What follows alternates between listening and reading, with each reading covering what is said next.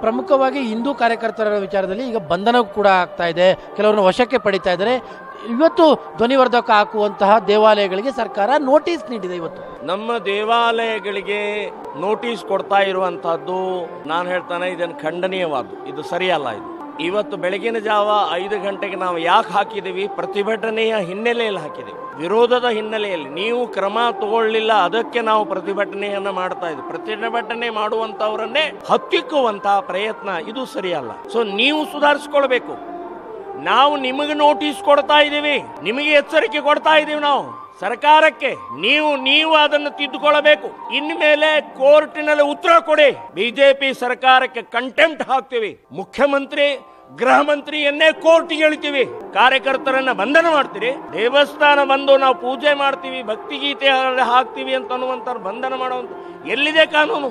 ಯಾಕೆ ಕ್ರಮ ತಗೊಳ್ತಾ ಇದ್ರಿ ಯಾವ ದೇಶದಲ್ಲಿದ್ದೀವಿ ನಾವು ಹಾಗಾದ್ರೆ? ಎಲ್ಲಿದೆ ಸ್ವಾತಂತ್ರ್ಯ? ಸಂವಿಧಾನದಲ್ಲಿ ಹಕ್ಕಿಲ್ವ ನಮಗೆ? ಡಾಕ್ಟರ್ ಅಂಬೇಡ್ಕರ್ ನಮಗೆ ಹಕ್ಕು ಕೊಟ್ಟಿದ್ದಾರೆ.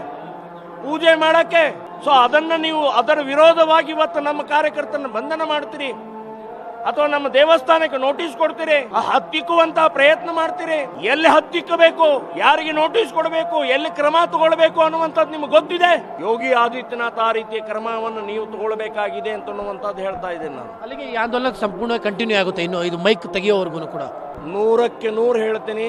ಸುಪ್ರೀಂ ಕೋರ್ಟಿನ ಉಲ್ಲಂಘನೆಯ ಮೇಲೆ ಅವರು ಯಾರು ಮಾಡ್ತಾ ಇದ್ದಾರೆ. ಅವ್ರ ಮೇಲೆ ಕ್ರಮ ತಗೊಳ್ಳೋವರೆಗೆ ಮುಸ್ಲಿಂ ಸಮಾಜ ಶಬ್ದ ಮಾಲಿನ್ಯ ನಿಲ್ಲಿಸೋವರೆಗೆ ಬೆಳಗಿನ ಜಾವ ಐದು ಗಂಟೆಗೆ ಅವರೇನು ನಮಾಜ್ ಮಾಡ್ತಾ ಅವರೇನ ಅಜಾನ್ ಮಾಡ್ತಾರೆ ಅದನ್ನೂ ನಿಲ್ಲಿಸುವವರೆಗೆ ನಮ್ಮ ಹೋರಾಟ ಮುಂದುವರಿಯುತ್ತೆ.